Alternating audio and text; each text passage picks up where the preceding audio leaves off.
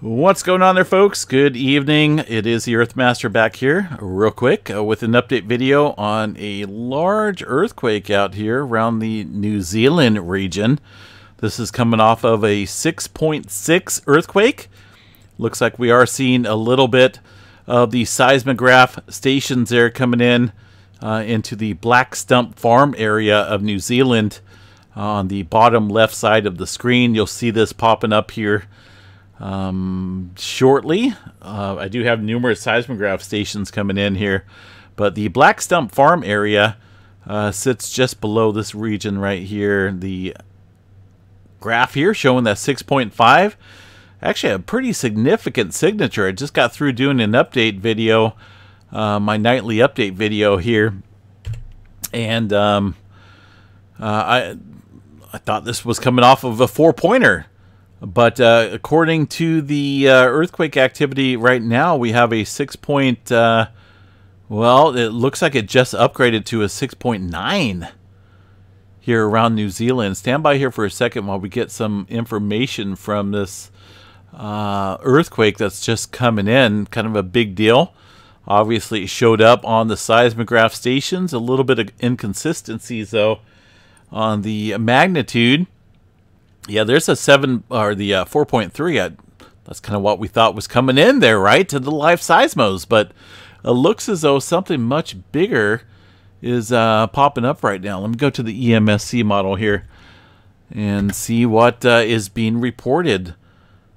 I don't know if any of the folks here in New Zealand felt this earthquake or not, but we're getting a report of a 6.6 uh, Kermadec Islands, New Zealand area. Uh, again, this is uh, looks like it's situated north of New Zealand, North Island, New Zealand area. So that would explain a little bit of the delay on the live seismographs here, as noted.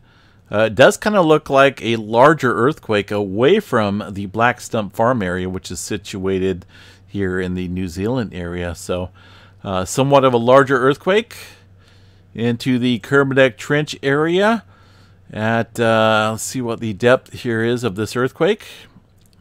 Looks like about 183 kilometers deep. We're just kind of chatting about uh, how this region was uh, looking at some further movement. 6.9 here from the USGS, 151 kilometers deep. Uh, it's an upgrade. It has been reviewed by a seismologist. Uh, I don't believe there's going to be any uh, tsunami statement, but let's just go ahead and double check that here real quick. 6.9, no tsunami warning hazard. Uh, advisory watch or threat currently taking place here. So uh, that's kind of a, a, definitely a larger earthquake out there into the uh, New Zealand area coming in at 10:41 p.m., which is uh, about oh, 15 minutes or so ago. I was uh, just looking at chat. I was wondering what you guys were talking about out here uh, about the removal of the six pointer. But uh, goodness, yeah. So uh, definitely seen some activity ramping up here across the Kermadec Trench area and uh, portions of New Zealand. All right, folks, have a good night. Please stay safe out there. So a couple videos shooting out on the notifications tonight. We're looking at the uh, well, the uh, nightly update and also this update here on the 6.9 earthquake in the uh, Kermadec Trench area. Stay safe. Uh, I am seeing the seismic, seismic waves there across Japan. This may be larger, folks. This may be larger than the 6.9. Um, yeah.